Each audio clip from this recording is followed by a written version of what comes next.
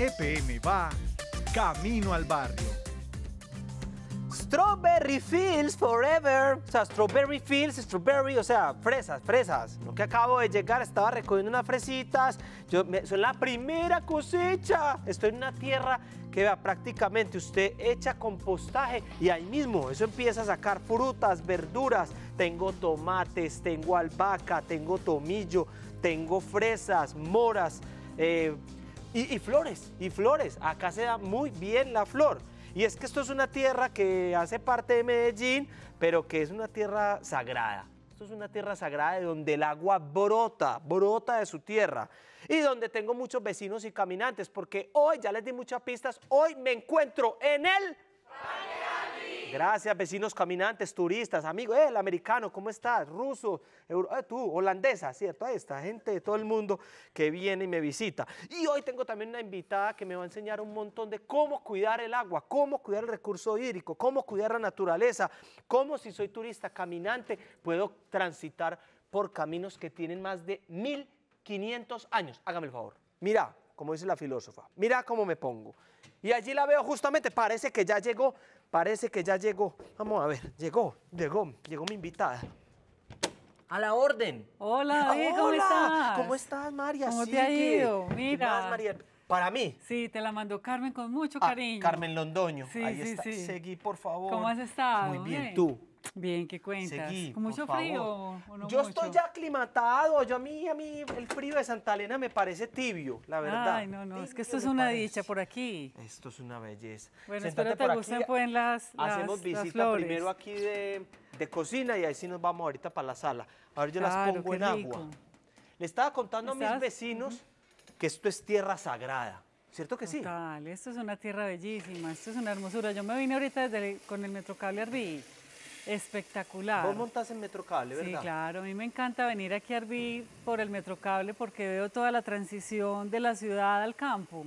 Ay, no. y es que- todas esas áreas tan lindas, todo este bosque es una belleza. Y mira las flores que te mandó Carmen ahorita que me la encontré. Aquí entre vos y yo, yo no entiendo muy bien, o sea, llueve y, y Santa Elena recoge esa agua o esa agua está metida en las entrañas de la montaña. Una duda, vos sos ingeniera, Sí, ¿cierto? claro, claro. Pero no es civil, No, no, no, forestal. forestal. Forestal, sí. Forestal, claro. de la Universidad Nacional. Claro, es que esa- la importancia del bosque es precisamente esa, ¿cierto? Que te ayuda con toda esa regulación hídrica. Entonces, toda esa sa- agua que cae, el bosque precisamente es una fábrica de agua porque ahí es donde empieza a gestarse la gota de agua que va recorriendo el tallo de cada árbol. Y ahí también aquí en Arví tenemos los musgos, los líquenes, eso actúa como un colchoncito y va recogiendo toda esa agua y la va regulando y finalmente ahí, se- ahí nacen las quebradas y estas quebradas que son la Honda y Piedras Blancas de este territorio Arví va a desembocar al río Medellín Aburrá. O sea que aquí tenemos una gran fábrica de agua y mira, tú acabas de recoger unas Ahí fresas está. también. Sí, recogí fresas. maravilla. Me faltan las florecitas que me las mandaron los londoños que tienen historia de silleteros desde el principio. Los silleteros nacieron en la plaza y fue un administrador que, eh, como todos los de las flores se hacían a un ladito, dijo, deberíamos hacer un desfile. Es una, esto realmente es una tradición nuestra, el señor Uribe, es una tradición antioqueña por completo y es de habitantes de Santa Elena. O sea, Santa. Elena yo creo que es de lo que, como idiosincrasia y como cultura antioqueña, él le ha puesto mm, el alma directamente a nosotros. como Claro, es que esta, esta, este corregimiento es bellísimo, ¿cierto? Tiene, mira, toda esta tradición silletera, fuera de eso, tiene todo una cultura alrededor de la protección de todos estos bosques, de todas estas aguas. Entonces hay, hay un trabajo muy bonito con la comunidad que precisamente hacemos como EPM y eh, con todas las instituciones pues, que trabajan en el territorio Arbí. Esto es una, una belleza porque mira las posibilidades que tenemos tan grandes, además de que la zona es bellísima, tenemos muchas aves. El Valle San Nicolás, esto pertenece al Valle de Sí, San Nicolás. pertenece al Valle Y- San y, es un Nicolás. territorio muy, muy especial porque además esto tiene un pedacito de Guarne, un pedacito de Río Negro, un pedacito de Medellín y un pedacito de Envigado. O sea, uno aquí siente, yo me siento como cosmopolita. Sí, total, total. estuve en medio, me- en medio Antioquia prácticamente. Sí, y es muy lindo lugar. porque cuando tú vas por el Metrocable, que llegas a todo el Parque Arbí, pues ves, eh, ves a todo el Valle de Aburrá realmente, ¿cierto? Es hasta el Bello, un poquitico más allá, casi Copacabana, y puedes llegar con la visual pues muy lejos, no hasta Caldas, pero sí lo puedes visualizar pues casi que todos los 10 municipios. Entonces te da toda esa visual y los otros municipios que tú también eh, cuentas que hacen parte del Valle de San Nicolás. Entonces realmente es una región muy bonita y sobre todo muy importante. David, ¿tú sabías que EPM lleva muchos años protegiendo esta área? Pues es que realmente yo del Parque Arví creo que lo empecé a escuchar hace muy poco realmente. Creo que cuando ya el metro cable llegó allá es que se, se popularizó, ¿cierto? Sí, exactamente. Pero imagínate que PM lleva más de 60 años cuidando estos, estas tierras. Hubo una época en que esas tierras er, fueron degradadas por la minería. ¿Y qué había minería Entonces, ahí? había toda una minería de aluvión. ¿Aluvión? Aluvión, sí, que recogían, recogían, pues ahí pues había eh, minas de sal, había pues mucha tradición eh, de arrieros también que llegaban directamente a este territorio, pero toda esta minería pues fue degradando las tierras. Entonces, ¿qué pasó? Que ahí se creó la carrera de ingeniería forestal en el país. ¿Por qué? Porque entonces se empezó a hacer todas unas plantaciones de lo que llamamos las coníferas, que son pinos, ciprés, pino eucalipto, o sea, que ya eh, perdón, eh, pino carpa, sí, pino carpa, pino pátula, y empezamos a eh, tener estas plantaciones allí, también con algunas áreas de eucaliptos y que es muy importante que empezamos a proteger esas áreas con estas especies y a fomentar la regulación hídrica. Ya llevan más de 60 años. Entonces, tú habrás escuchado que estamos también implementando un programa de fomento forestal que va a 35 años. Entonces, ¿qué hacemos? Vamos a empezar. Pero espere, téngame que no la recibí con todas las de la ley. Vengamos a la sala que ya cuadre las ah, flores. no, no, no, excelente. Y así como usted conoce tanto, porque veo que eres una enamorada realmente de estas tierras, eso se distingue. ¿Dónde me siento? ¿Dónde te sientas en el sofá, yo me hago por acá en esta sillita. Okay. Pero quiero, quiero mostrarte un poco de nuestro territorio. Esta crónica la preparamos especialmente para ti. Vamos a ver. Ah, qué bien. Cuando el mariscal Jorge Robledo encontró en 1541 este hermoso valle, creyó haber llegado al lugar que lo convertiría en un hombre rico. De él le habían hablado los indígenas, quienes con mucha malicia lo engañaron para calmarle la fiebre de oro con la que había llegado de España. Esto es Arbí, que en lengua indígena significa abundancia. Son 16.000 hectáreas de tierra en los municipios de Bello, Copacabana, Guarne y Medellín de las cuales 1.760 son de bosques naturales muy bien conservados. Posee una gran riqueza, ríos de agua cristalina, ecosistemas de agua salada, que son claves para la preservación de la fauna, y construcciones antiguas prehispánicas que pueden tener más de 1500 años. En el 2007 nació la Corporación Parque Arbí, una iniciativa para la conservación del medio ambiente del bosque de niebla y el patrimonio cultural y arqueológico del corregimiento de Santa Elena, mediante el cuidado, el uso planificado y racional de los recursos naturales de esta región. Una tarea que tiene el apoyo de EPM. Estamos trabajando las dos entidades con la estrategia que la corporación hace para cuidar, proteger y conservar este territorio llamado Parque Arbí y esto el tema de la estrategia de turismo rural comunitario. Por eso, con el auspicio económico de EPM y dentro de ese convenio realizamos actividades fundamentales en temas de cuidado, protección, conservación, reforestación, restauración en el territorio de los bosques. Dentro de ese convenio vale destacar el programa Hogares Sostenibles, que busca que las familias que habitan el territorio encuentren una sostenibilidad verdadera que dé respuesta a aspectos importantes como lo social, lo ambiental, lo cultural y lo económico. El Parque Arbí, además de ser el gran pulmón verde de Medellín, ha controlado las expansiones urbanas desordenadas, un patrimonio nacional que todos debemos preservar. Hoy en EP me va camino al barrio, estoy con María del Pilar Restrepo, ella es eh, ingeniera ambiental. Forestal. Forestal. ¿Cuál es la diferencia entre el ambiental y el forestal?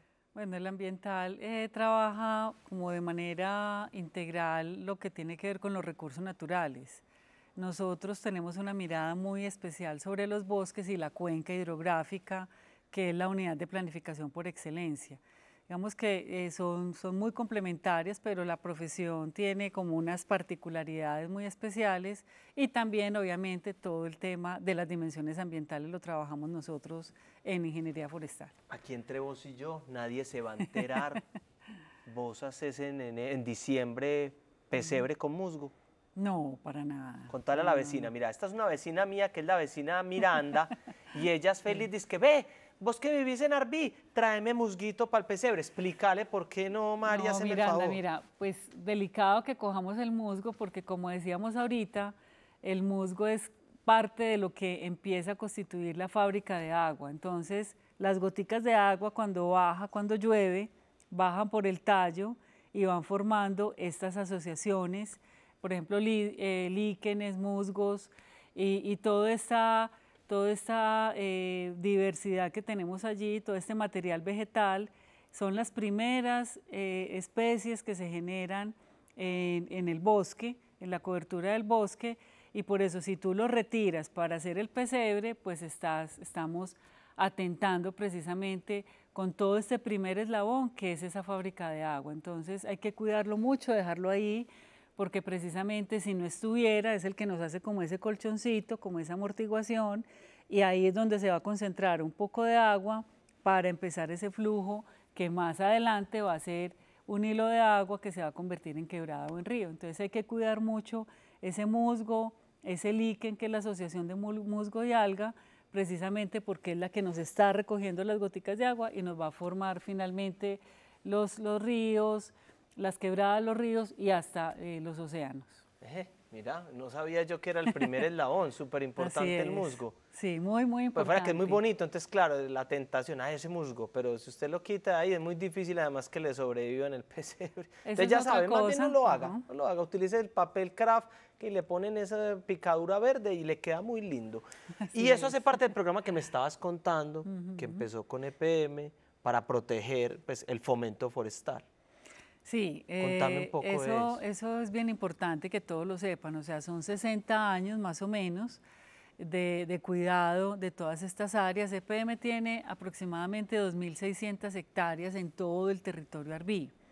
De esas 2.600 tenemos siete, eh, el 7% en áreas en comodato, donde está, por ejemplo, Confama, donde está Confenalco, okay. donde está la Corporación Arbí, tenemos también un pedacito con los Scouts, con la Universidad Nacional, con juntas de acción comunal, pero el resto del área es toda en estos bosques que veíamos ahorita en las imágenes, eh, 1.600, 1.700 aproximadamente en bosque natural, y eh, una cantidad similar en bosque plantado. Eso no existía, María. Cuando me dices plantado, antes, antes era una manga. Un... Exacto. Teníamos áreas que eran degradadas por la minería. Entonces, ¿qué minería. se hizo? Se empezaron a establecer estas plantaciones de pinos, como hablábamos ahorita, que para muchas personas pues no, no gustan de estas especies, tienen un mito de que secan los suelos, y realmente esto hay que irlo ca cambiando porque y revirtiendo. Son foráneos, no son... Exacto, porque dicen que son especies foráneas exóticas, pero realmente si uno ve la cantidad de agua que tenemos en todas estas cuencas es muy alta, o sea, realmente han hecho una función muy importante de regulación hídrica.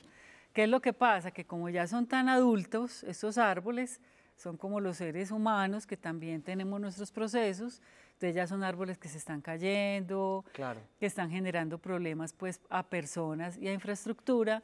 Entonces tenemos un plan de manejo forestal que es hacer la cosecha paulatina, tenemos un plan a 35 años y poco a poco vamos haciendo la cosecha y vamos volviendo a establecer especies que son nativas, que son propias de la zona. No, y eso es lo normal. Eh, yo, por ejemplo, tengo en mi casa matas, pues, las maticas de mi casa, por lo menos cada seis meses le doy una podada y por donde podo ella antes se multiplica. Exactamente. A ella no es que no le gusta, a ella le gusta, mi matica. Yo tengo un bonsai, un saludo a mi bonsai que está en la casa. Vamos a ver, ¿y qué es un pan de sal?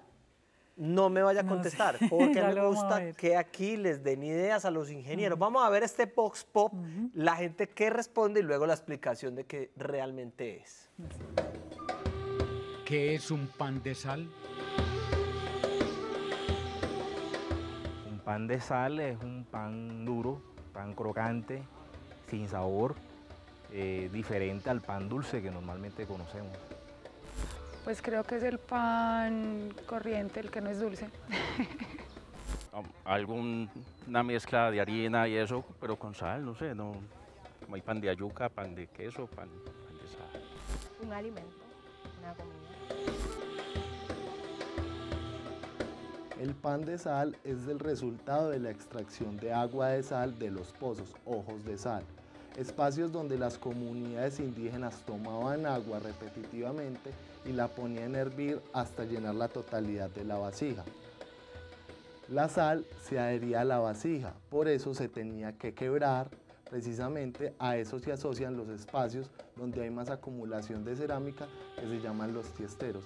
Este pan de sal era fundamental para las comunidades ya que a través de ellos podían conservar los alimentos, también podría ser una mercancía de intercambio o una moneda para pagar los servicios. De ahí viene el término salario. También eh, estas fuentes de agua sal son fundamentales para los animales que habitan el territorio de Santa Elena en el oriente de la ciudad de Medellín.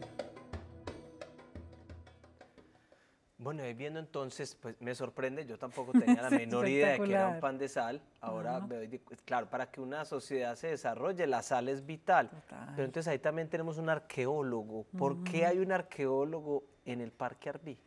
Bueno, David, muy importante pues para, para ti y para todos contarles que es que además de que el territorio Arbí es un área de importancia ambiental, es un ecosistema estratégico, hace parte de lo que es la Reserva Nare, eh, tiene una importancia hidrológica pues fundamental porque allí nacen dos cuencas muy importantes que son la Honda y la, y la Piedras Blancas que surten o hacen parte del sistema interconectado de todo el Valle de Aburrá. Es también un bien de interés cultural declarado eh, precisamente por el ICANN, por el Ministerio de Cultura, y nosotros tenemos un plan de manejo arqueológico. Como ven allí, y lo que hablábamos anteriormente, pues aquí habían unas minas de sal, eh, pero también tenemos caminos ancestrales y tenemos unas infraestructuras muy bonitas, que es por ejemplo donde llegaban los arrieros hace muchos años. Eh, ahí está, por ejemplo, la, la- la laguna de Guarne, que era donde se hacían unos rituales. I- Incluso el tema de la Entonces- señalética, claro, ¿cierto?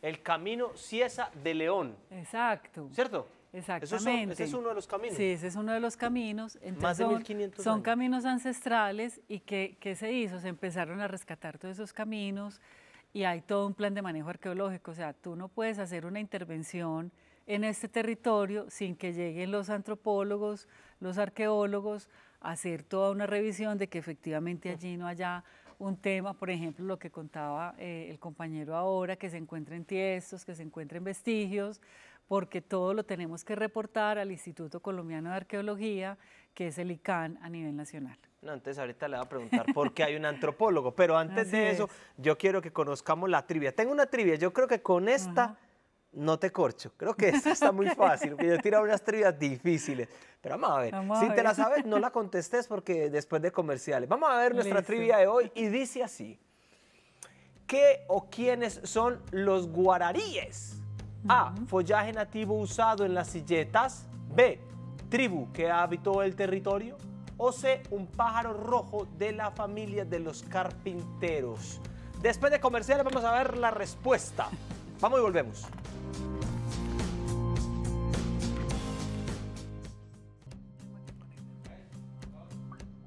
Hoy NPM va camino al barrio, estamos con María del Pilar que nos está contando todo sobre el Parque Arbí y cómo tenemos que cuidar las aguas. Y tenemos una trivia que dice ¿qué o quiénes son los guararíes? A. Follaje nativo usado en las silletas. B. Tribu que habitó el territorio. C. Pájaro rojo de la familia de los carpinteros. Primero los vecinos. Vecinos, la A, la B o la C. A ver, ¿cuántos por la A? ¿Cuántos por la B? ¿Cuántos por la C? Vea, los poquitos que dijeron que la C, eso es incorrecto. Vamos a ver qué dice. ¿Y vos qué decís, María? Yo creo que la B. La Me B. Suena mucho la A mí B. también, pues Le hago caso al público. Y eso es correcto, tribu que habitó el territorio. Claro que sí, eso, aplauda, sí.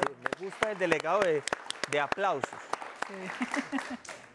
Que siempre hay un delegado de aplausos que jala el aplauso, ¿cierto? No, O y sea, eso, y eso anima, eso anima. No, y mira que emp- empataba muy bien con lo que nos estabas contando que esto tiene esos territorios.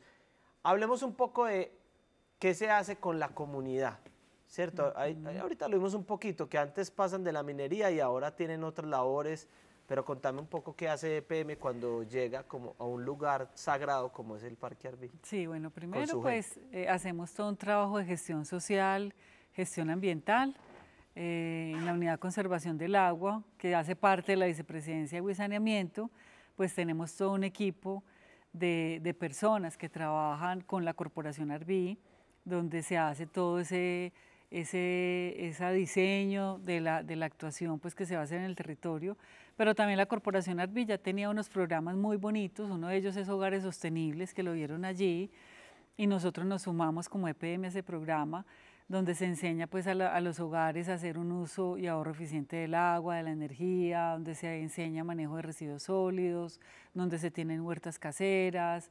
Entonces se hace todo ese acompañamiento con estos hogares, pero también hay otros programas muy bonitos, por ejemplo, Jóvenes Viven Arví, que es un programa pues, que a mí en lo personal me encanta, porque es con los jóvenes del territorio, eh, se acompaña también unas jornadas para que conozcan mucho el territorio, pues yo creo que muchas de las cosas que vimos ahora, eh, muchas personas no las conocían, ¿cierto? Entonces, conocer lo que uno tiene en el lugar donde vive es muy importante porque se logra algo que es fundamental, David, que se llama la apropiación.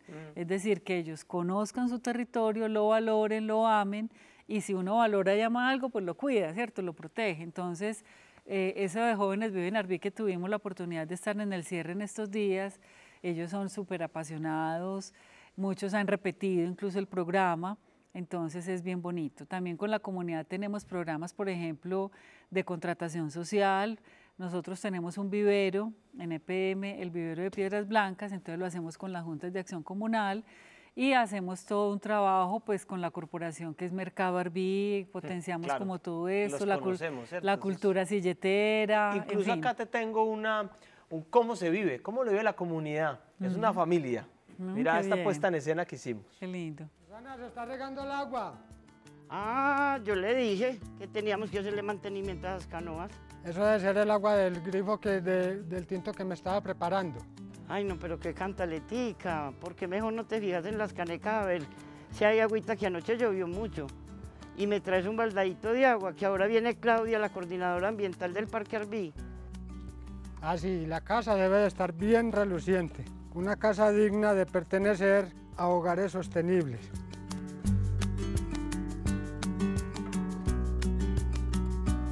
No importa que tengamos bombillos ahorradores. A esta hora es mejor tener las luces apagadas.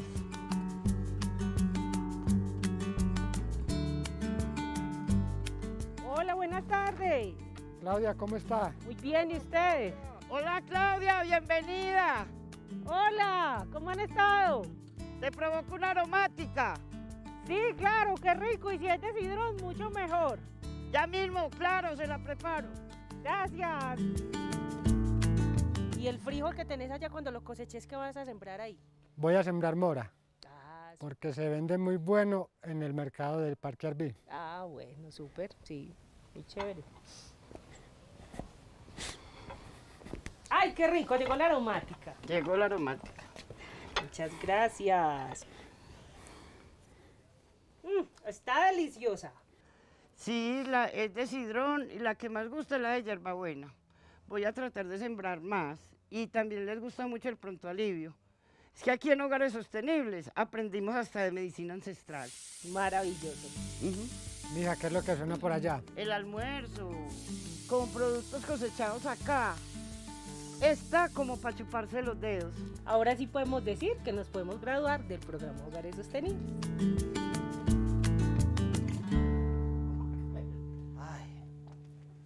Solo escuchar a Pitadora me imagina lo que huele ese sudado. Esta señora se nota que tiene una sazón.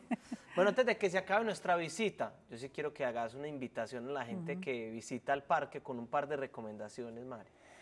Bueno, ¿qué es importante? El cuidado del lugar, ¿cierto? O sea, que, que no empecemos, me voy a llevar un piecito de tal Por favor, no. el musgo, eh, que entendamos todo el esfuerzo que se hace desde PM, de las diversas instituciones para cuidar ese territorio, que también comprendamos la relación entre lo urbano y lo rural, ¿cierto? Porque a veces abrimos la llave para tomar agua, pero no entendemos la conexión que existe entre estas fábricas de agua que decíamos, entre nuestras cuencas abastecedoras. Entonces, que valoremos mucho ese recurso y que cuidamos las fuentes, ¿cierto? No echemos residuos, eh, eh, tratemos de no talar árboles, sino antes sembrar. Entonces, todo, cada uno de nosotros puede hacer una acción muy eficaz por el cuidado del agua y el cuidado de los recursos naturales y, de toda la biodiversidad. yo voy a aprovechar que te tengo experto y vamos a caminar, a recorrer un poquito, porque esto sí es lo más bonito. A ir a agradecerle a Carmen también las flores. Salgamos por el patio de atrás, que aquí es fácil. ¿Quién va a ir a echar camino con nosotros? ¿Quién quiere? Vamos a caminar alguno para que salga después. Vamos, venga pues. Caminen, caminen, vamos, por aquí. Salimos, vamos a buscar el camino de 1500 años. Tiene peaje. No, no, no. Ah, bueno, si no tiene peaje, sí, porque yo un peaje no. A para que conozcan todo esto tan bonito. Vas a ver.